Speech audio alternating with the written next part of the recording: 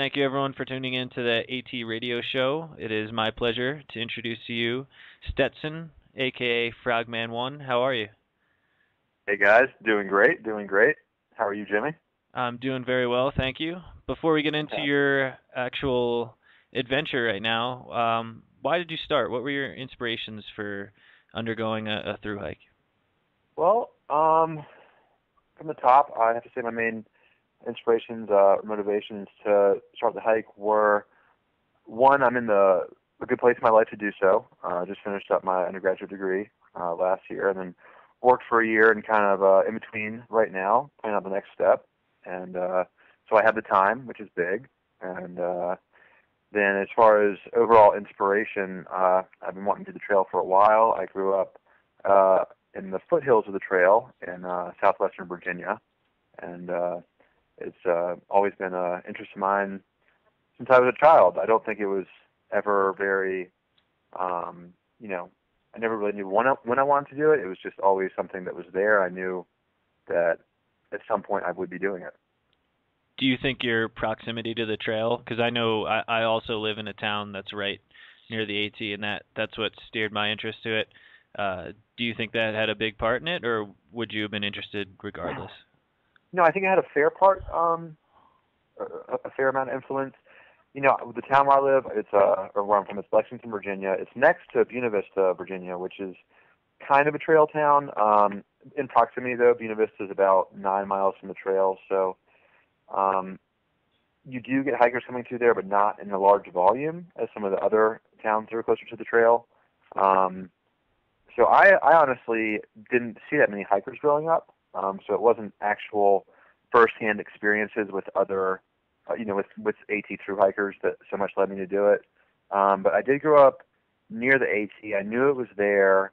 Um, I had hiked sections of it. I did, you know, um, some smaller sections as a child, just mostly day hikes. And then I think when I was 14, I did my first, you know, couple weeks, and uh, that that obviously led me to do it. And I think the main thing was just, you know, my mom went to nature camp um, near the trail, and she always talked about it and took me on little hikes. And I had little AT handkerchiefs and stuff like that. So it was just kind of always there in, in the in the back of my mind. You know, it was something that that was very important for me to um, to uh, to do, and uh, at some point in my life.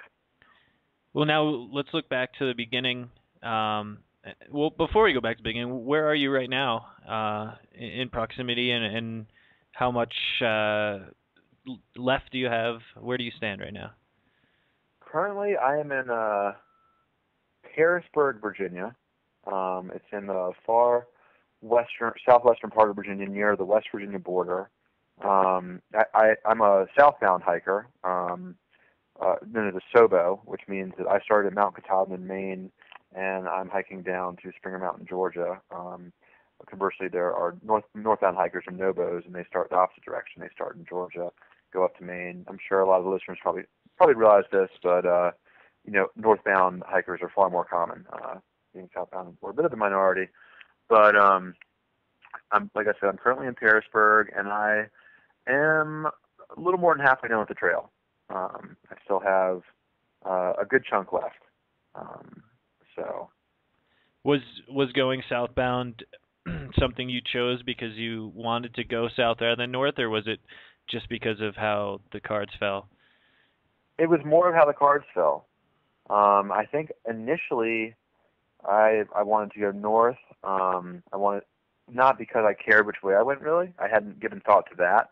I just knew that uh, most people, you know, the, the general practice is you start at Springer Mountain, Georgia, and you hike up to Mount Katahdin. And uh, so I kind of planned on that, but uh, after I finished work, I I went did a few things in the spring and uh, just kind of ended up taking longer and longer to get, you know, my affairs in order, things taken care of.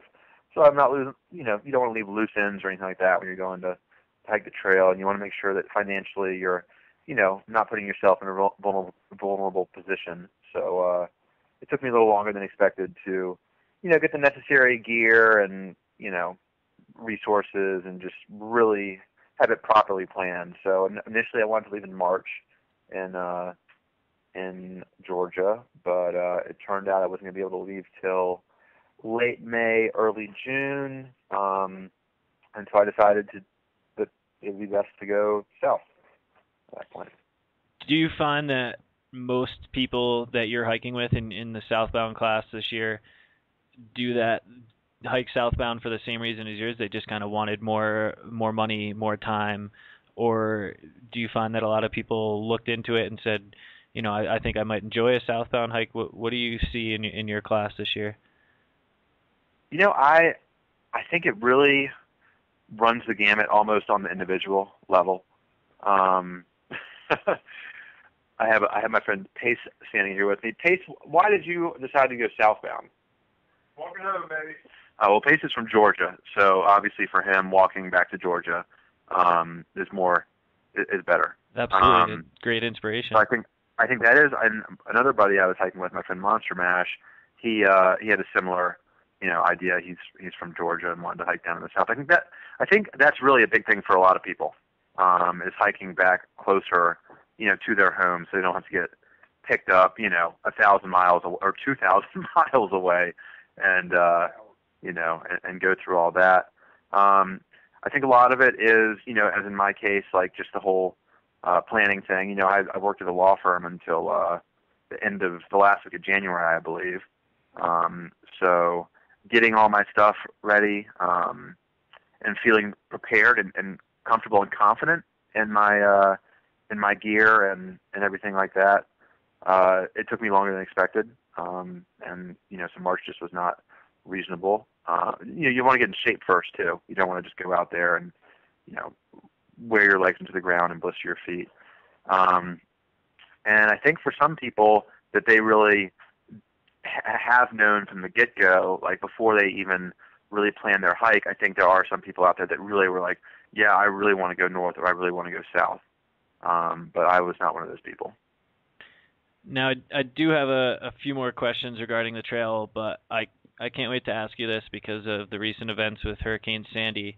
How did you fare? Uh, who, who were you with? How, when did you find out about it? Did you take the proper precautions? Just tell us how you uh, survived the storm. Yeah, that, that is a great question.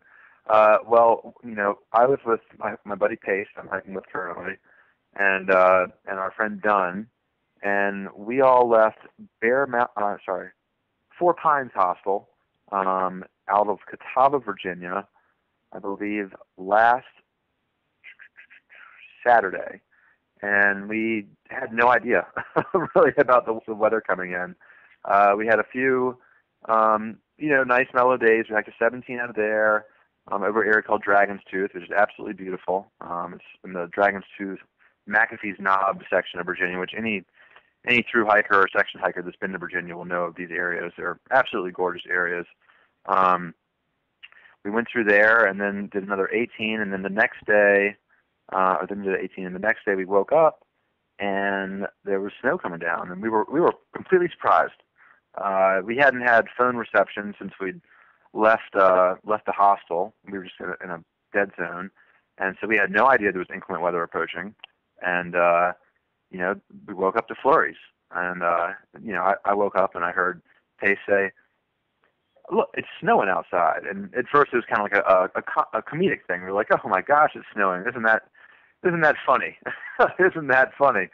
And then it kept snowing, and uh, so you know, we got up and. uh we kept moving, and uh, our our buddy Dunn, he actually he he stayed behind, and uh, Dunn, if you ever hear this, hope you're doing well. I uh, tried to send him a text earlier because you, you know you're a little worried out, about people out here when inclement weather comes in. Uh, yeah, um, especially actually, when you don't know about it too.